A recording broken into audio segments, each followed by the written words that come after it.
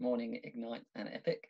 I'm Craig Smith, and I've been promoted to today's Tuesday prime time slot in the youth uh, WRAP videos.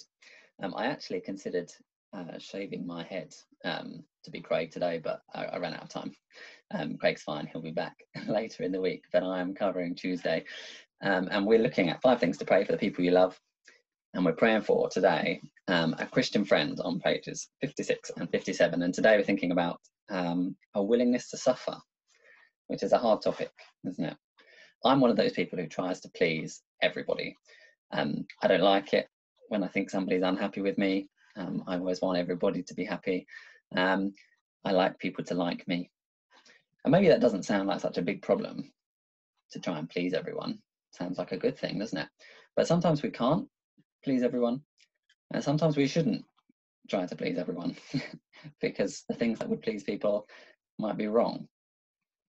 Um, and our passage today in 1 John chapter 3, looking at verse 13, it says, Do not be surprised if the world hates you.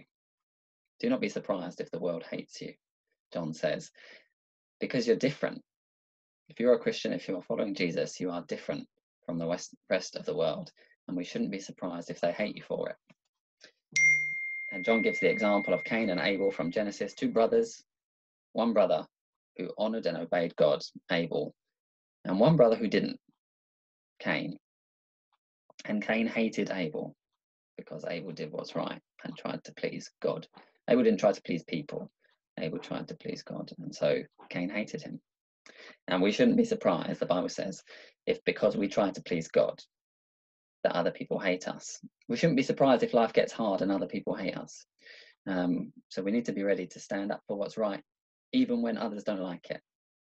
Whether that means telling people about Jesus, um, who might not want to hear that he's the only way to God. Whether that means loving people who are difficult or uncool or actually don't appreciate being loved. Um, and maybe it's being honest when it hurts, when it's going to hurt us to be honest um, or hurt others. Sometimes we shouldn't be surprised if the world hates us. Um, and that's a hard thing for all of us, isn't it? Because to all of for all of us, uh, to some extent, um, we love people to like us, and so you need to pray for your Christian friends today um, that they would be willing, um, when the time comes, um, to suffer. That they would be willing to stand up for what's right, to say the truth, and to love people even when it hurts. Um, so pray for your pray for yourself, pray for others in the youth group, and for other Christian friends that you have, and that that would be them that they'd be willing to suffer for Jesus. Um, and obviously, you can come and talk to any of us leaders um, about this any other time because we would love to pray for you and support you. And um, sometimes, um, sometimes it is hard to be a Christian. Sometimes we will suffer for being a Christian, um, but we can pray to our, our Father who loves us at any time. So yeah, you've watched the video have a little reread of that passage in 1 John, um, and then pray for your Christian friends and for yourselves. Have a good day.